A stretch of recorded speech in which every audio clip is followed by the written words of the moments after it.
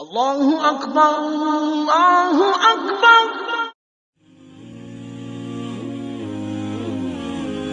Assalamu alaikum wa rahmatullahi wa barakatuh, meine lieben Geschwister. Mein Name ist Jibril und ich reagiere heute zu einem Video, welches einerseits auch eine Motivation sein sollte für alle Schwestern und natürlich auch für die Brüder. Ich möchte zu Beginn noch kurz sagen, ich bedanke mich wirklich bei allen für diese lieben und schönen Kommentare, die ich gelesen habe. Es hat mich wirklich überwältigt, wie viele schöne Kommentare ich bekommen habe und macht bitte weiter so. Und wenn ihr die Dauer unterstützen wollt, dann teilt doch diese Videos auch, damit es auch viele andere Geschwister sehen können. Das heißt, wir legen es direkt los. Wir starten mit dem Video. Ich zähle wieder mal auf 3. 1, 2, 3, let's go.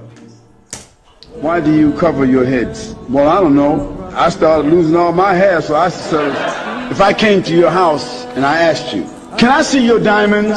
Can I see your money? Can I see your jewels? Can I have your PIN number?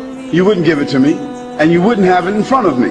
Well, our women, our wives and our mothers and our daughters, they're worth more to us, they're more precious to us than our diamonds, our gold, and our pin number. There is no one on this earth more beautiful than a Muslim woman. There's no one who comes close to that.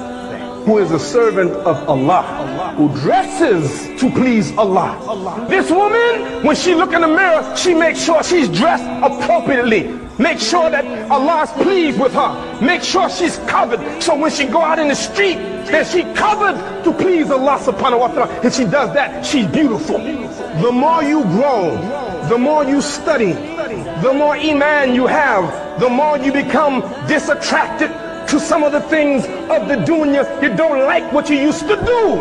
I have Quran in my heart. I have the love of the Prophet. I have the love of Allah. I have something in me and I'm now different. I feel different. different. I warn you, those of you who still like the dunya and you don't make a distinction, then Iman is not written in your heart.